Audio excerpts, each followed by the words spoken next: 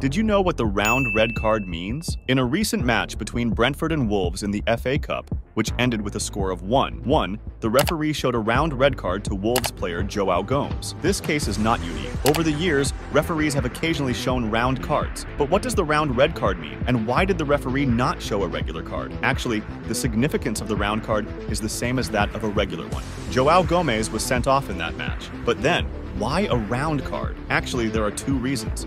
The first is quite simple. It's easier for the referee to find the right card in their pocket. Round means red, rectangular means yellow. The second reason is that some players, due to color perception issues, cannot distinguish red from yellow. If the cards are of different shapes, they immediately understand whether they have been sent off.